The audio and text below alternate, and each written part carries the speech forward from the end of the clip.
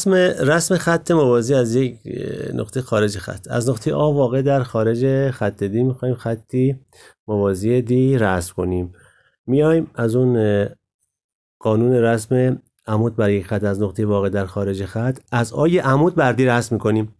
به مرکز آب شرای دلخواه کمانی می‌زنیم تا دی رو در دو نقطه قطع کنه مثلا B و C بعد عمود منصف به رو رسم می‌کنیم. به مرکز B به شای بزرگتر نصف BC یک کمان می‌زنیم.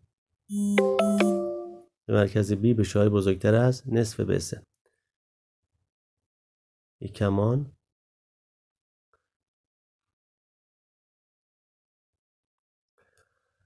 بعد دوباره به مرکز C و به همان شعاه تاکید می‌کنیم. به همان شعاه کمان دیگری می‌زنیم. خب محل تلاقی اینا رو به هم وصل می‌کنیم. محل تلاقی این دو نقطه رو به هم دو کمان رو به هم وصل می‌کنیم. این خط قرمزی که رسم شد مثلا خط دی یک. اسم بزنیم دی یک.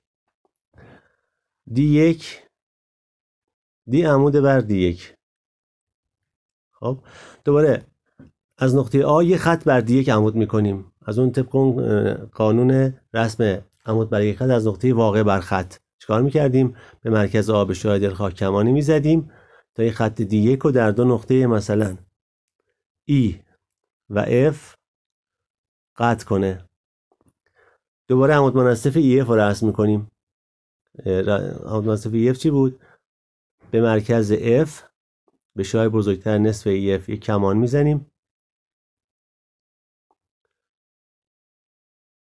بزرگتر نصف EF یک کمان. دوباره به مرکز ای. به همون شاه تاکیدن به همون شاه. کمان دیگری می‌زنیم.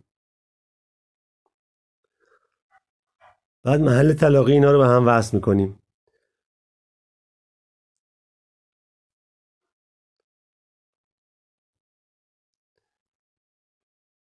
خب یه خط جدید به دست میاد. اسم بزنیم دی دو. دی عمود بر دی یک. دی دو هم عمود بر دی یک. پس دی موازی دی دو.